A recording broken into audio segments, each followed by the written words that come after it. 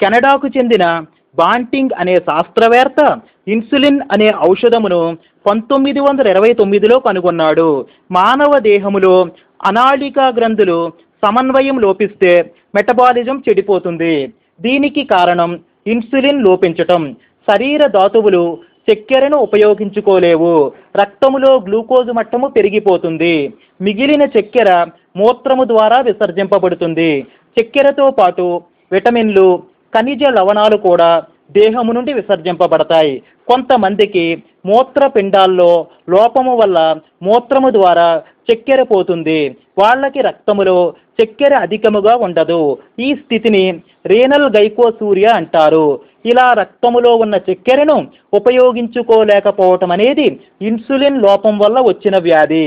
Pancreas గ్రంథిలో ఉన్న ల్యాంగర్ horn జీవకణాల్లో బీజకణాలు insulin ఉత్పత్తి చేస్తాయి.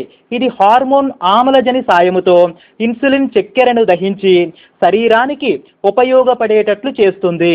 ఈ వ్యాధిని చక్కెర వ్యాధి అని మధుమేహ వ్యాధి అని అంటారు. డయాబెటిస్ అని సామాన్యముగా వ్యవహరిస్తారు. డయాబెటిస్ మిల్లిటస్ అనేది ఈ వ్యాధి పేరు. మేధావుల్లో కదలకుండా కూర్చుని వ్యాపారం చేసే వాళ్ళల్లో సోమరిపోతుల్లో ఈ వ్యాధి ఎక్కువగా కనిపిస్తుంది. వంశ పారంపర్యముగా కూడా ఈ వ్యాధి వస్తుంది. ఇన్సులిన్ కనుగొనక పూర్వము ఈ వ్యాధిగ్రస్తులంతా అల్పకాలంలోనే మృత్యువాత పడేవారు.